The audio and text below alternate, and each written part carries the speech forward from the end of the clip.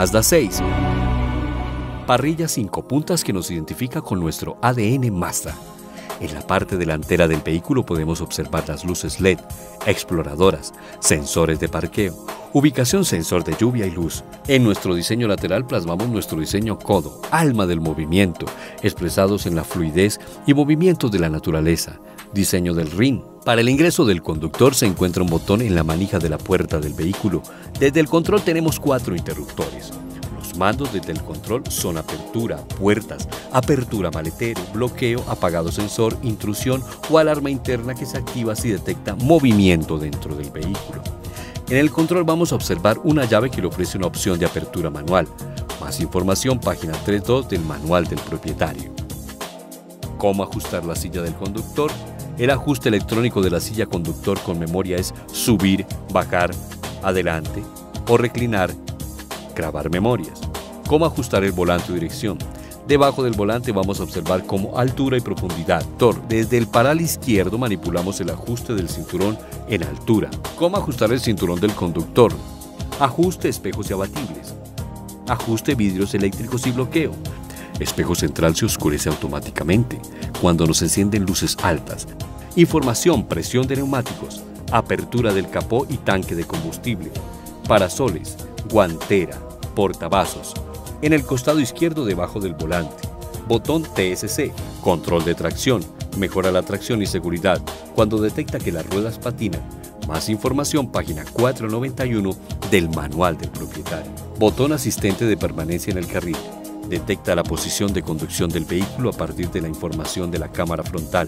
Botón sistema de reductor punto ciego informa al conductor en los espejos retrovisores sobre los vehículos que se encuentran en el punto ciego. Para encender el vehículo pisamos el pedal del freno y pulsamos el botón Start Stop.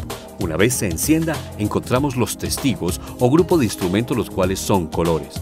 Rojo significa atención inmediata, amarillo significa alerta, verde no altera el modo de conducción, azul informativo más información, página 442 del manual del propietario.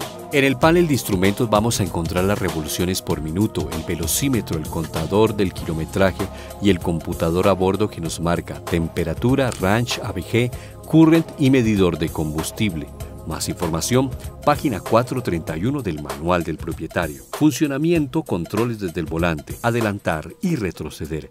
Volumen, comandos de voz, contestar, colgar, computador a bordo. Control crucero se activa desde los 25 kilómetros de velocidad y le permite al conductor retirar el pie del acelerador e ir a una velocidad continua. Ubicación airbag. Más información, página 251 del manual del propietario. Encendido apagado de luces y exploradoras automático. Encendido de limpiabrisas automático. Funcionamiento aire acondicionado automático dual. Encendido apagado.